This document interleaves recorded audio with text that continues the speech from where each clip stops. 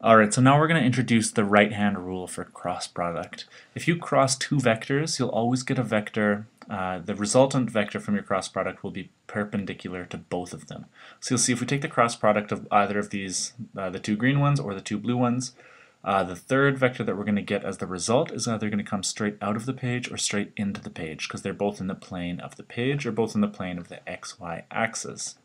So but how do we know if it comes in or out? Well, we can do it mathematically and find that out, or we can have a quicker approximation, or not approximation, we can have a quicker method of just determining the direction with no magnitude, and that's called the right-hand rule. And basically what you can do is you can, uh, you can use your right hand, and we'll just draw a picture. This is going to be a really bad picture, by the way, but we'll try and draw your hand. So this is going to be your thumb, like that, and then kind of have your hand maybe some fingers coming out like this. And what you're doing is you're imagine you're kind of karate chopping the page. Right? So that would be your index finger. There would be another finger here and so on and you probably have five fingers, something like that. So imagine that this is your hand and you've karate chopped the page um, and your thumb is sticking straight up.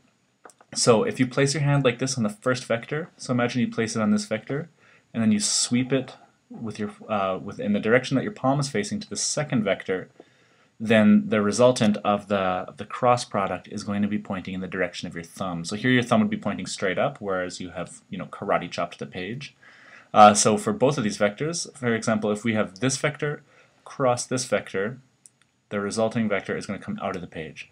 But if you reversed your hand the other way, put it here, so now you'd have to kind of reverse karate chop or put your thumb uh, your thumb would have to be touching the page and this picture would be reversed and then you would sweep this way in the direction of your palm and the resulting vector would be pointing into the page.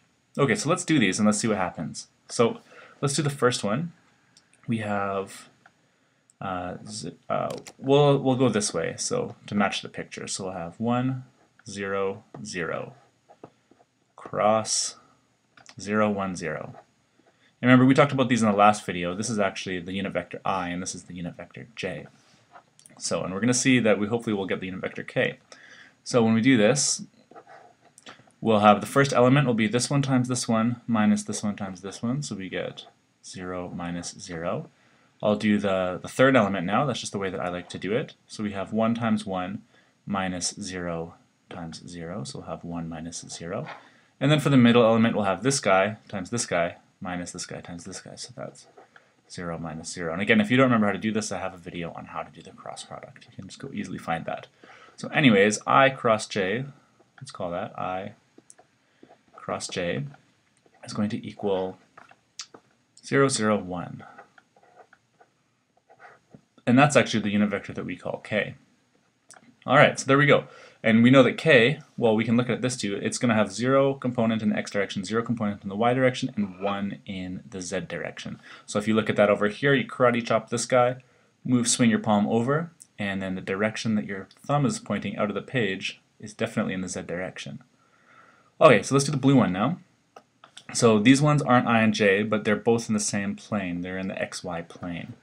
So if we go and do this, um, let's do it down here maybe. So we'll sweep the same way again. So we have 2, 1, 0, cross this other vector 1, 3, 0. 1, 3, 0. Okay, so now the first element is going to be 1 times 0 minus 3 times 0. So we'll have 0 minus 0.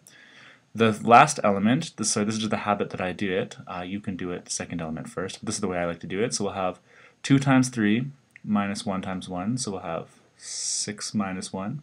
Oh, sorry, that's the last element. 6 minus 1. And then the middle element, you switch the direction, so 0 times 1 minus 2 times 0. So we get 0 minus 0.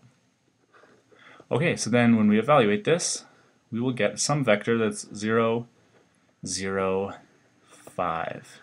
Alright, now these vectors are a little more useless than the unit vectors, but you'll see that these are definitely in the xy plane, and then the resulting vector is only in the z plane. And so again, if you karate chop this guy, sweep this way, and then whichever direction your thumb is pointing is definitely going to be pointing out of the plane.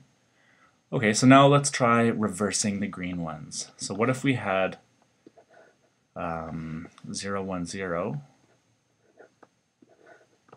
cross 1, 0, 0. All right, so we have this, we'll have the first element, so again this is, well first of all, this is the same thing as j cross i. The first element is 1 times 0 minus 0 times 0, so that's 0 minus 0. The last element will be 0 times 0 minus 1 times 1, so we get 0 minus 1. And the middle element, we'll switch directions, so we'll get 0 times 1 minus 0 times 0. So we get 0 minus 0. Okay, and the answer to this, now we'll get 0, 0, minus 1. 0, that's not 6, that's 0, 0, minus 1. Or we could also say this is equal to minus k. So let's look at that. Imagine kind of reverse karate chopping this, thumb first, and then sweeping palm direction to this one. Then your thumb is going to pivot around here on the, you know, your thumb would be here, so it's pointing directly into the page. So there we go. That's just some intuition on the right-hand rule. Um, obviously, if you're not in the xy plane, um, whatever plane the two vectors make with each other in three-dimensional space, you can sweep along that line, and it'll either point up from the plane or down from the plane.